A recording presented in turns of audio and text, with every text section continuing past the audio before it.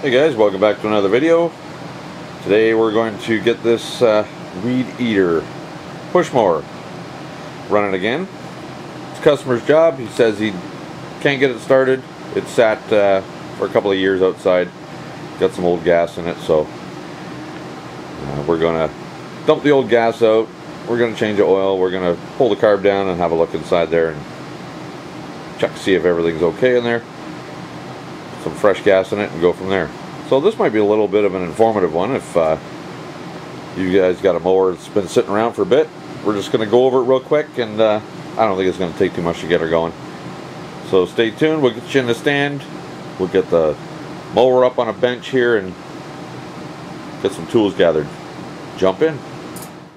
Alright, so the first thing we're going to do is we're going to pop the air filter off. Full of oil and crap. Just a foam filter. We're going to wash that out with some dish soap. Hot water and dish soap in the sink. Don't tell my wife. We're going to... Oh, it's got one of them plastic fancy carburetors. yeah, completely plastic carburetor.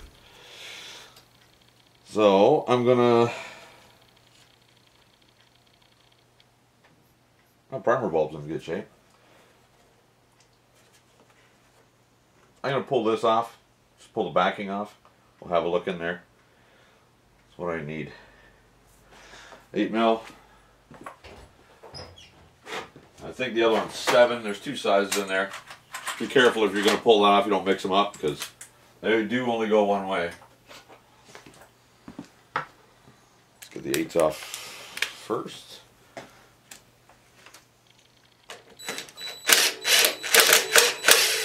Eight here. Eight there. They threaded in metal. Those are fine thread. Get the sevens off. One here.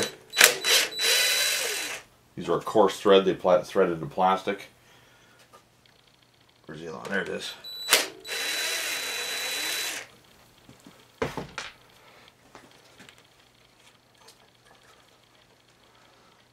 Holding us up. We got a crankcase vent tube is in there. There we go. Yeah, it's been sitting outside for a while. There's a stick stuck in the throttle linkage. We can get rid of that. Pretty sure we don't need that there.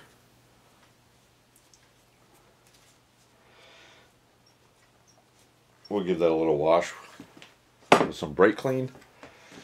Yeah, that's that old plastic carburetor. If we pop this open, it's all plastic inside. There's a couple of little brass jets, but it's all plastic inside of there. It's pure craziness. but they seem to work, so it is what it is. So I want to drain the fuel out of there. Let's see if we can do it this way. We're going to try and uh, try and get this done with the least amount of mess.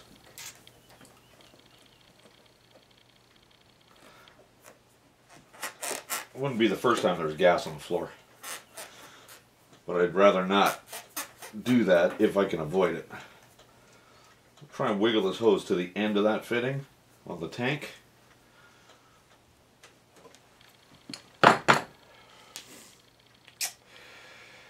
Huh. Maybe a better way. We'll put this end back on.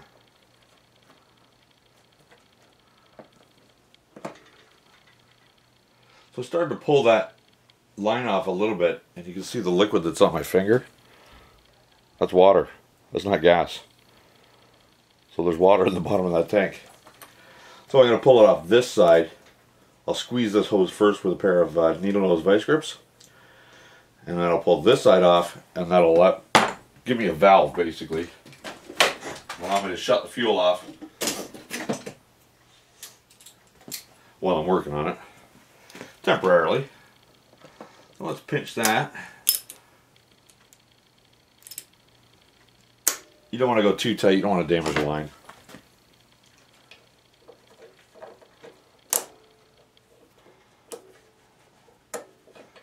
I grab that clamp on the carburetor side, I'll take it off of this side instead.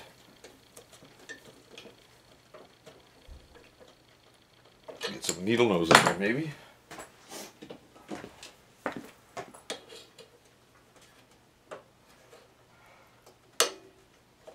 Come on.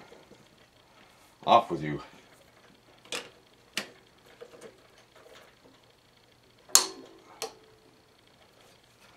don't want to break things.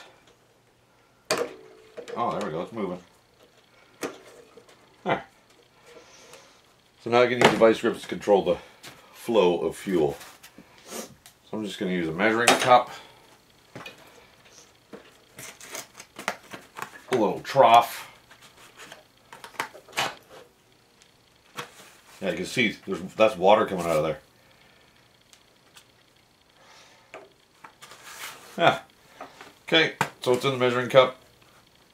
I think I got everything under control here. Just release the vice grips.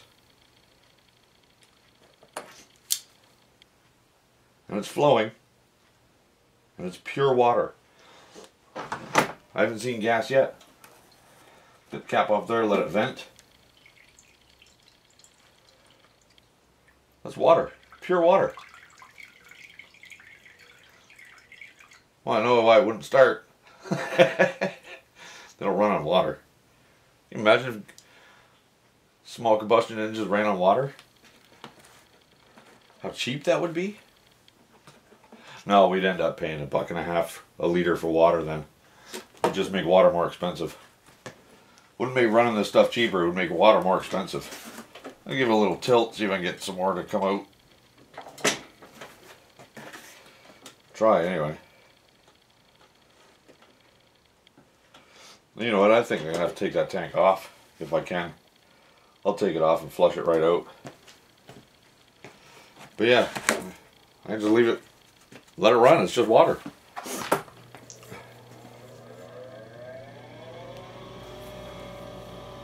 I ain't gonna drink it, but that's water. You can tell it's beating up on my finger. Doesn't even really smell like gas. A tiny little hint, but doesn't really smell like gas. Huh. That's the problem. Okay. Involved in getting that tank out of there? Can't be much. Looks like we're going to pull the top cover off.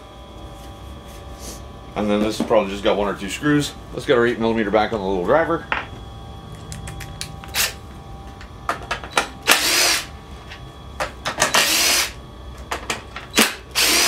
Three screws.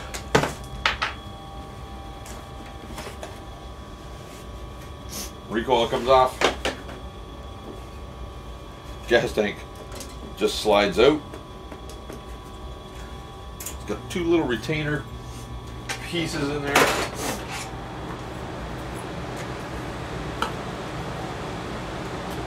Just a little bent part of metal that's holding that tank down there. The machine's full of spider nests. You in there.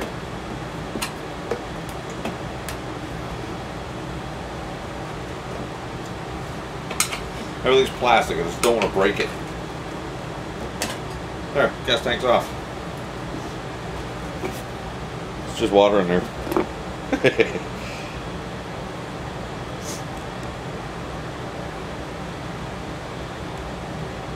okay. Well, we'll flush that out. These carbs do have a drain on the bottom. It's a hex. I believe it's a hex.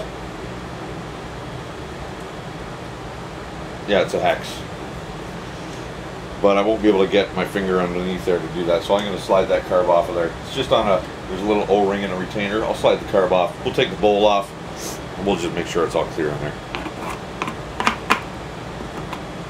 So yeah, we're just going to blow that up with compressed air. A little bit of gas dumping out now, but yeah, I'll blow, get some brake clean in there and blow it out with compressed air. And we'll get that one back rolling. Let's get the carburetor off there first. So there's our crank vent. See if we can sneak you in there. There we go. Just tuck it out of the way. This carb should just slide off gently. give it a little rock back and forth. This is just a vent tube that's kind of hanging in the way. A little piece back here, I'm not sure if you can see it.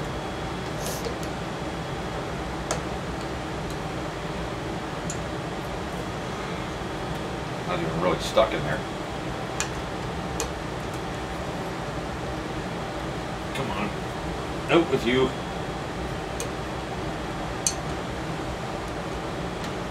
There we go. Everything just fell apart.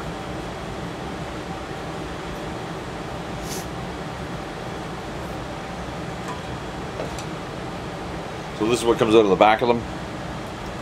The O-ring goes in, in the carburetor first and then the retainer. Of course, conversely, you could put the retainer on the intake tube first and then the O-ring and then just slide the pop carburetor on. That's the way I'm going to do it. That way it'll get these parts out of my hand and off the bench. There's only one hole in the top of the linkage. Got a Z bend. Just flip her out of there. And there's that plastic carburetor. All plastic. There's that drain I was telling you about.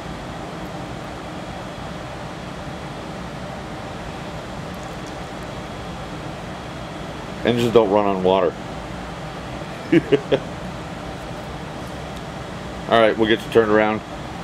We'll get a top view of the carburetor on the bench. We'll get it tore apart. So I'm not going to go with my normal bird's eye view for you guys. That's where that little plastic piece for the uh, vent was.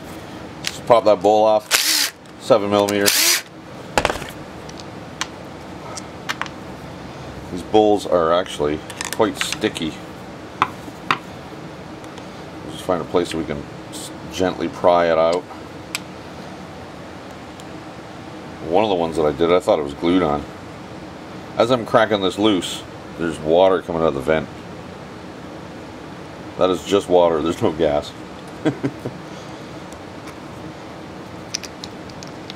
Can you hear it? There you go. Jeez, that, yeah, the bowl was full of water. Just want to make sure that there's no crap and corruption in there. So it looks like the bowl will actually go on either way. The way I took it off was the drain. Where are you looking? The drain was over the pin or over the needle. Now, it's not all crusty and crappy. I'm not going to take it all apart. There's too much of a risk of breaking things. This part here will, will actually snap out and there's an emulsion tube and all kinds of stuff in there. I'm just going to blow it out with water. No, it's got too much water now. I'm going to blow it out with air. It's not even dirty, so. Yeah, we'll blow that out. You don't need to listen to that. We'll get her back together. I actually ran into a problem. The needle is not working. I have to pop that out of there.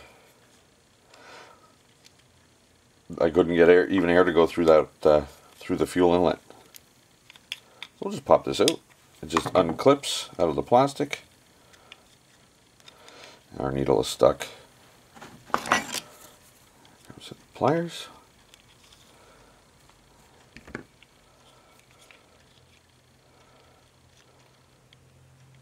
Yeah, doesn't even want to come out. I'm going to try and see if I can wiggle it off the float first. I don't want to break the float. Nope. So I'm going to have to get underneath it. What I'm going to do is right in, see if you can see it. I'm not even sure you can see it. You can just see the metal needle underneath there. I'm just going to get my screwdriver hooked under the needle and give it a little pop. Yeah, it's moving. There we go. Oh yeah, that's a mess. There we go. There's our needle.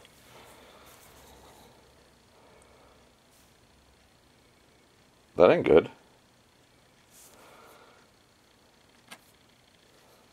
That crusty stuff coming out of there. Ethanol fuel destroys small engines. That destroys carburetors anyways. Seat looks good. I'm going to clean this up. The rubber part of the needle looks okay.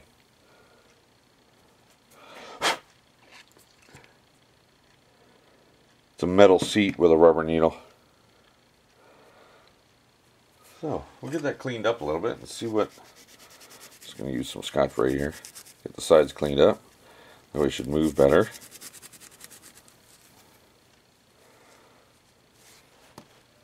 And we get a little carb spray on it.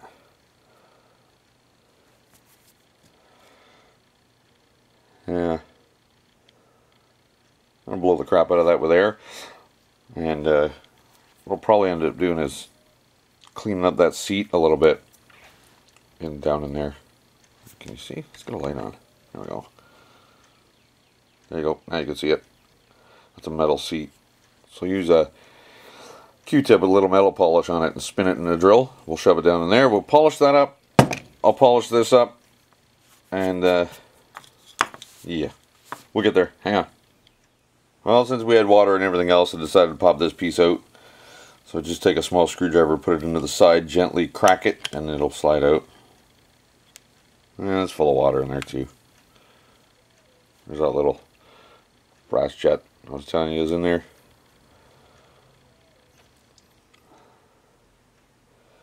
Just going to take it over the air real quick. Give it a couple of shots.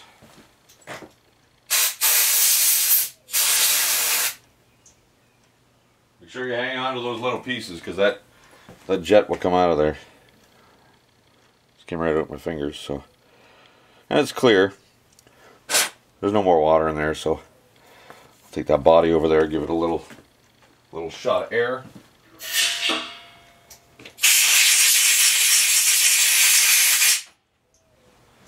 Go.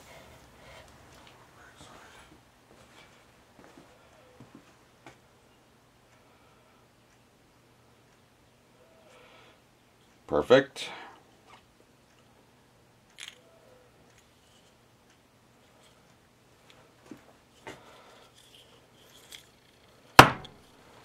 This little collar comes out of the uh, air filter side. Just got to line it up.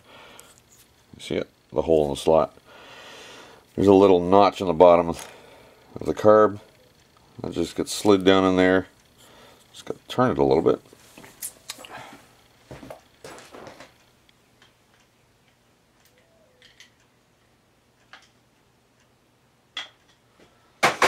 Yep, that's back in there. Because it's got to line up through a hole down here. Alright, let's get this beast back together. This is all blown out and clear. It's all good. This jet does come out real easy, so yeah, I say that and then it doesn't want to fall out, so. I tend to hold them this way and then to get it inserted. Just got to give it a wiggle because it'll there's an o-ring in there. Just got to wiggle it till it feels like it's gonna pop in. I don't want to force any of this stuff you will definitely be having a bad day if you do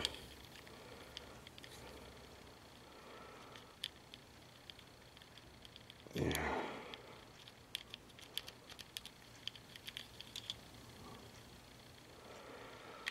This one doesn't want to behave.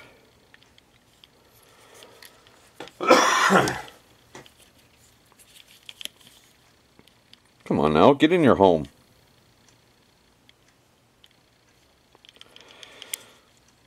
Oh.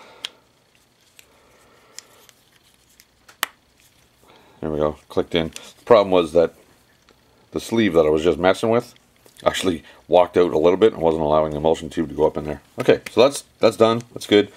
Let's get that seat polished. So what I got is a little bit of chrome polish. We'll just put a dab on the end of this Q-tip.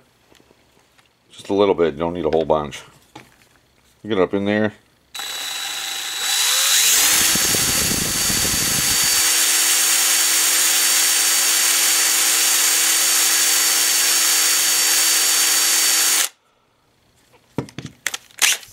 Take that one out, put a clean one in. It's just a half a Q-tip.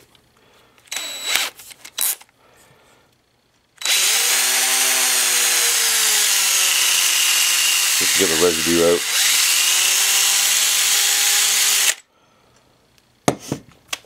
Well, that looks brand new. See down there now? How nice and shiny that is? Brand spanky new. So I'm going to take blowgun. I'm going to blow air through the inlet. We're going to make sure that there's no junk down in there. Our needle's going to slide up and down real nice. And then it will be golden.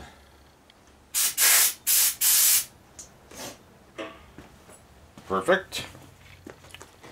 Do a test on our needle. Slides in, falls out. That's good enough.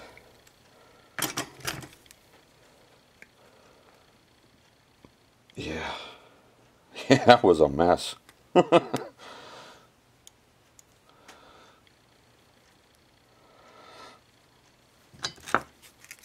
Piece of worn out emery. I'm going to make sure that it's the edges of that needle are clean. There's it's it's uh, triangle shaped, so I'm going to make sure that the the points of the triangles are clean enough that they're not going to bind up in that opening. Don't want to damage the rubber tip on there though.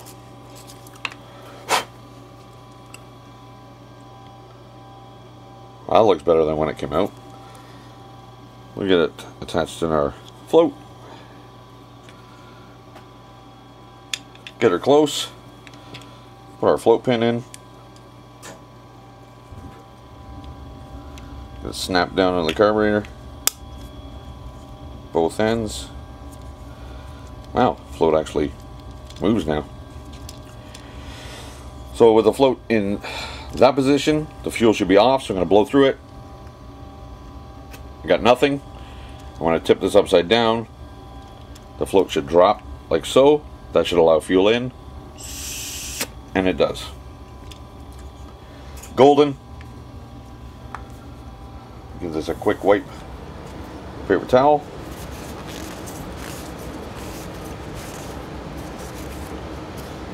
Nice and dry. To line our, line our drain up over that position where it was.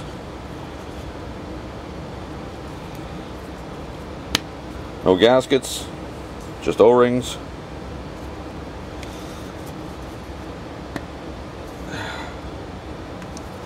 Looks like we got her. These threaded in there.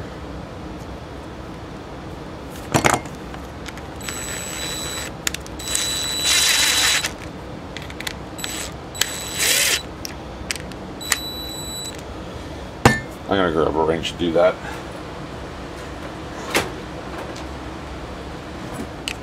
Plastic parts.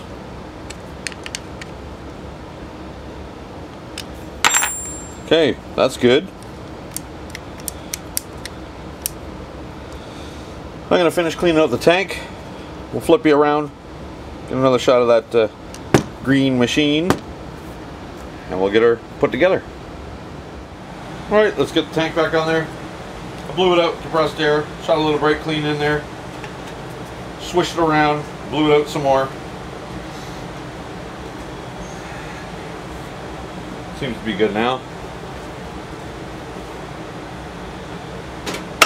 There we go. Tank's home.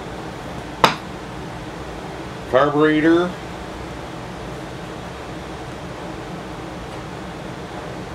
Yeah. The linkage is moved under the fuel tank, of course. Heck, snuck it in. Our O-ring and retainer are on there already. Sure.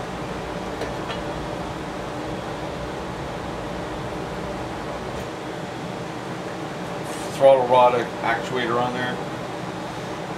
Let's get this wiggled in there. Fuel line going on.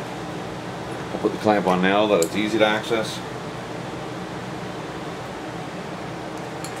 Beautiful. A little vent tube that fell out. Throw it on the floor. just gonna just blew through it make sure it was clear. There's a vent on it. It needs it. It's supposed to work. Let's get you in there. There we are.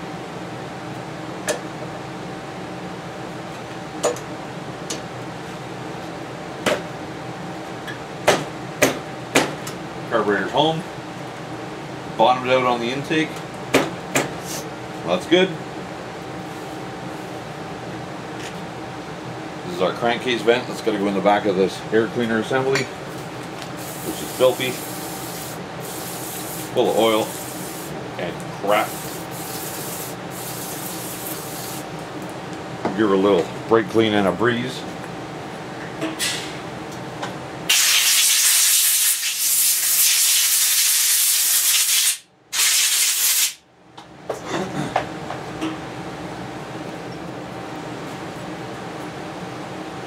We'll get our vent tube on there. Now you guys remember which was which? Which was the sevens, which was the eights? It's alright, you don't need to remember. You just need to remember that the coarse threads go into plastic. Well, like I said, coarse threads go into plastic.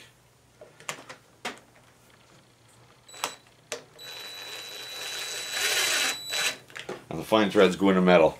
There's a metal bracket behind there. This one and this one go into the carburetor. Those are your those are your coarse threads. The other two are fine thread. They go into the steel bracket. Easy peasy.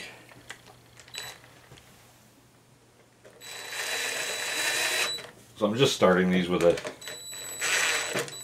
with a driver. I'm not going to run them home real tight anyways. Do that by hand.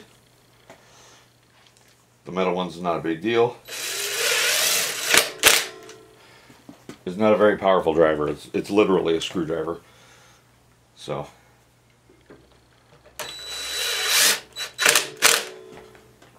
Give me my socket back.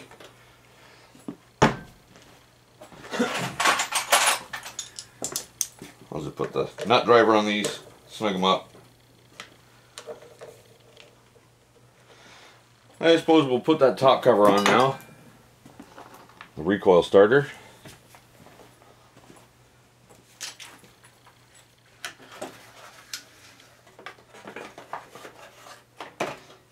Still gotta go uh, wash the air filter out.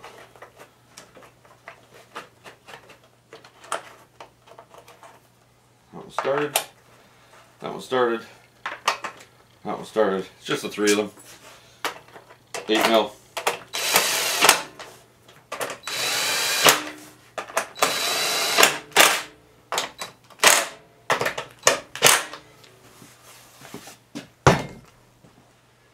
I mentioned we were going to uh, change oil. We're going to do that, but we're going to do it after it's running. Get it warmed up. Give the oil a chance to move a little freely, a little more freely. It'll flow out better. We'll get more of the old stuff out. It is the original oil. It, the, the mower is, a, is, I think, three or four years old, but it's been sitting for the last two, three years, and it was only used for one season. So I like to change the oil right after, like say I buy a new lawnmower, I'll cut the grass once and change the oil. Then after that, it's once a season. Uh, that's my preference. Always follow your manual.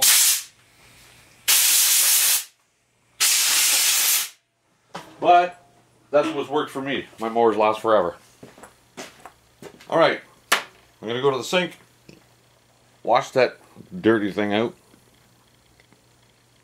and we'll come back. Okay, so I got that air filter washed out. Nice and clean now. It's early enough in the morning, wife's still in bed, she didn't catch me, so we're okay. So here's a pro tip. You're supposed to put a little bit of oil on these things, and it makes a mess everywhere. Put it in a sandwich bag first, get a little bit of oil in there. I'm just using some, basically I got 5W30 in a squirt can. You don't want to soak it too much, you just want it a little bit of oil in there. And what you do is you massage it around, and you want to soak the whole filter with it. But instead of getting your hands messy, do it in a bag. Don't you don't wring them because it'll break them.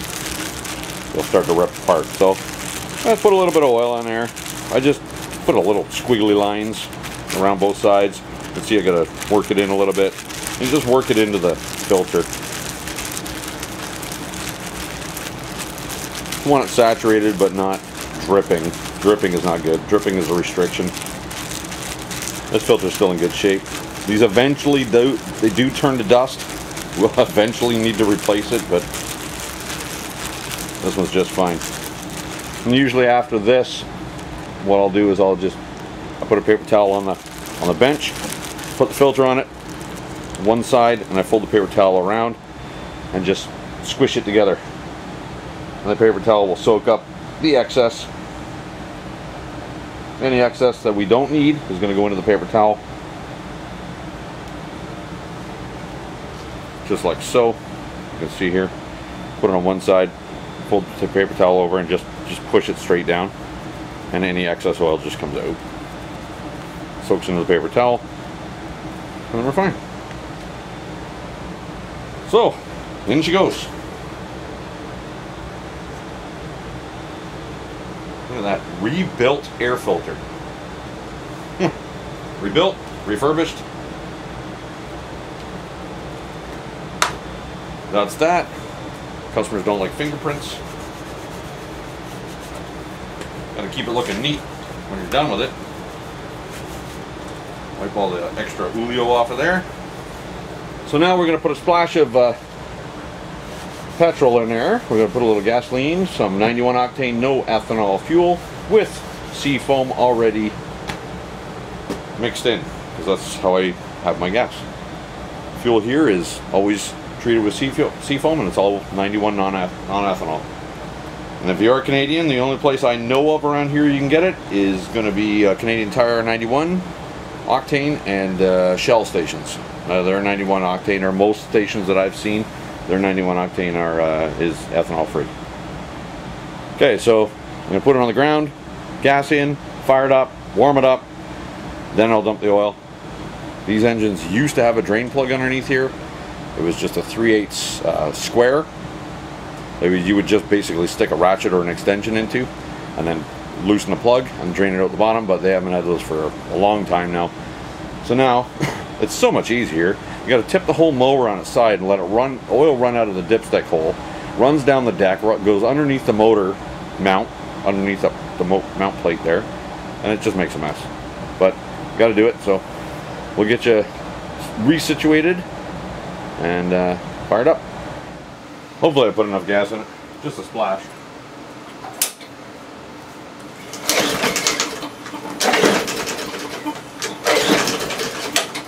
Maybe not.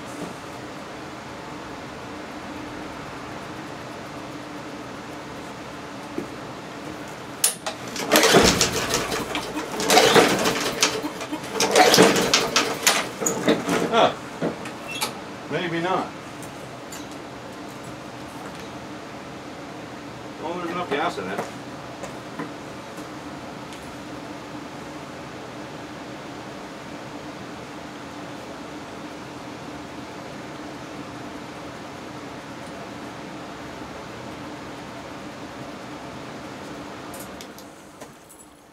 Hmm. I never did pull the plug out.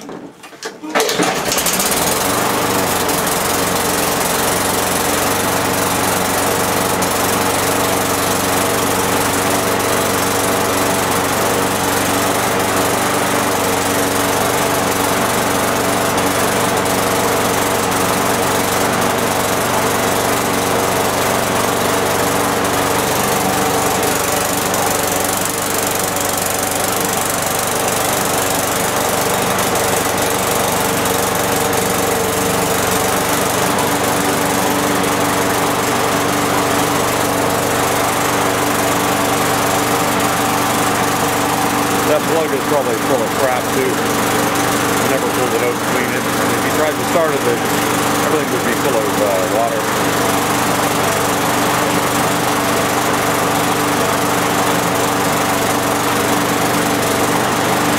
It's starting to clear out now. It's running better. I'm going to let it run, warm it up.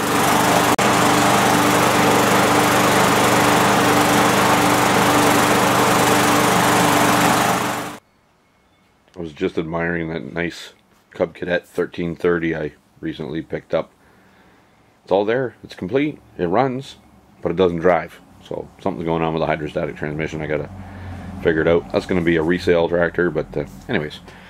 So I did let the mower run and it cleared right up. It runs much better now. Just letting itself sort it, you know, sort the carburetor and everything out. So that's all good. I did check before I fired it up. I checked to see if there was oil in it, and there was. But so I just ran it till it was warm. Now comes a mess. So I've got, you probably can't see it, but the dipstick is out. Now I got to tip the mower up on the side and drain the oil out. Let's see what kind of mess this is going to make.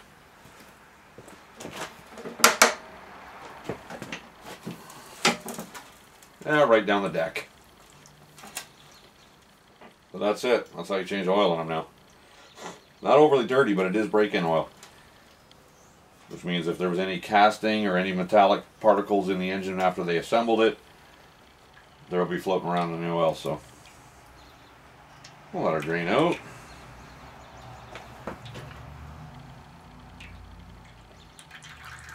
Doesn't take a whole bunch, whole bunch in this mower. Like about most of a liter. Not horribly dirty, but break-in oil, it's the first oil that was in it. It's time to change it. We're going to refill it with straight 30.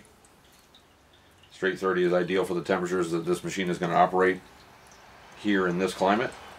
Straight 30 is good from freezing to like 100 degrees. So 10W30 is what a lot of machines recommend now. But 10W and 10W30 is good for cold weather, but who mows their grass in when, when it's minus 10 out?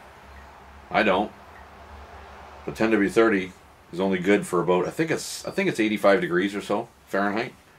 Uh, well, the summers here get hotter than that, so I'd rather run the thicker oil. We don't cut our grass below freezing, so. All right, she's down to drips. A little bit on the floor, a little bit on the deck. Nothing too crazy. So, the blade is actually not even dull. It was only used for one season. It's a little rusty, but it's still sharp. I'm going to refill it with straight 30. Fire it up again, make sure that the carb didn't dump a bunch of fuel in the engine by having it up on its side. And then this one's done. Call the customer, tell them to get it. Then we can move on to something else. Thanks for joining me on this one, guys. I mean, yeah, it's not finished. All I got to do is put the oil in it. But anyways, thanks for joining me on this video. Don't forget to click the thumbs up like button. I, am getting lots of views, but I'm not getting many thumbs ups. Either you don't like it or just forgetting to click it. So anyways, if you haven't yet, please subscribe and click that bell icon to notify you when I upload new videos. Till the next one, take care.